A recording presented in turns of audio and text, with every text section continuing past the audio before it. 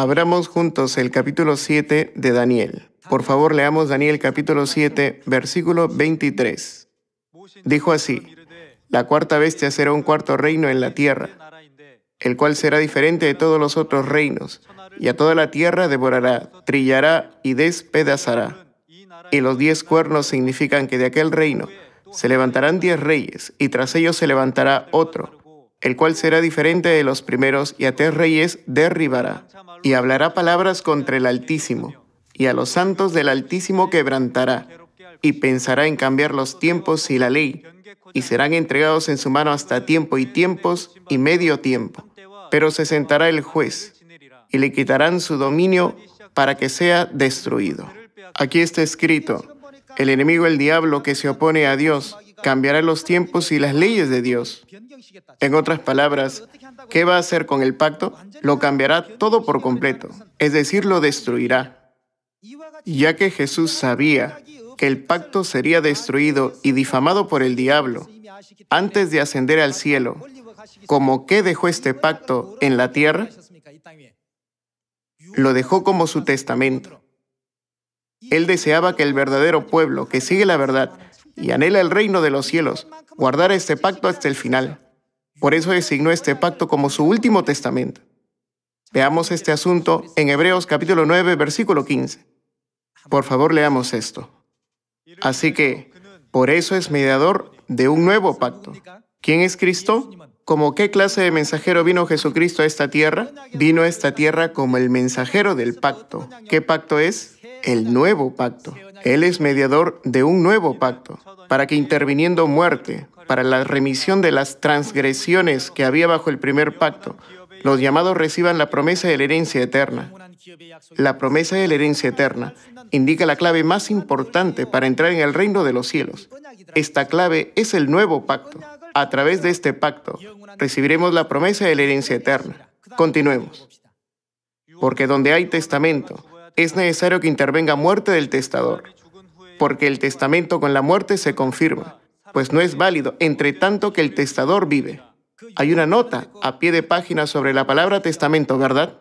¿Qué dice el pie de página? Él estableció firmemente el pacto como su testamento, para permitirnos guardar este pacto hasta el final. No obstante, muchas personas ignoran el pacto establecido por Jesucristo, quien vino a esta tierra como el mensajero del pacto. No se dan cuenta de la importancia del pacto. En Hebreos capítulo 8 está escrito que aquellos que no reciben el nuevo pacto y no viven en el nuevo pacto no pueden ser llamados el pueblo de Dios. Hay una razón clara por la que debemos tener este pacto. Veamos Hebreos capítulo 8, versículo 7. Porque si aquel primero hubiera sido sin defecto, si no hubiera ningún problema, ciertamente no se hubiera procurado lugar para el segundo. Porque reprendiéndolos dice, que aquí vienen días, dice el Señor, en que estableceré con la casa de Israel y con la casa de Judá un nuevo pacto. Dios establece el nuevo pacto, pero no arbitrariamente. Hay un propósito, una voluntad y un significado en establecer el pacto. El nuevo pacto es el pacto que estableció el mensajero del pacto. He aquí que vienen días, dice Jehová, en los cuales haré nuevo pacto con la casa de Israel y con la casa de Judá. No como el pacto que hice con sus padres el día que los tomé de la mano para sacarlos de la tierra de Egipto, porque ellos no permanecieron en mi pacto y yo me desentendí de ellos, dice el Señor. Por lo cual este es el pacto que haré con la casa de Israel después de aquellos días, dice el Señor. Pondré mis leyes en la mente de ellos y sobre su corazón las escribiré entonces, ¿qué será Él para ellos? Y seré a ellos por Dios. ¿Qué pacto debemos tener para que Dios sea nuestro Dios? A los que tienen el nuevo pacto, Dios les dijo, yo seré su Dios. Y ellos, los que tienen el nuevo pacto, me serán a mí por pueblo.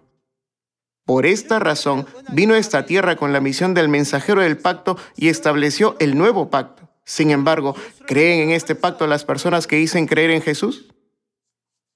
ni siquiera saben que Jesús vino a la tierra como el mensajero del pacto. Ni siquiera saben qué tipo de pacto había establecido Jesús. Simplemente llevan una vida de fe vaga. Sin embargo, ya que ustedes y yo tenemos el nuevo pacto designado por Jesús, quien vino a esta tierra como el mensajero del pacto, Jesucristo se convierte en nuestro Dios y nosotros en su verdadero pueblo. Solo el verdadero pueblo puede entrar en el reino de los cielos y recibir la protección de Dios.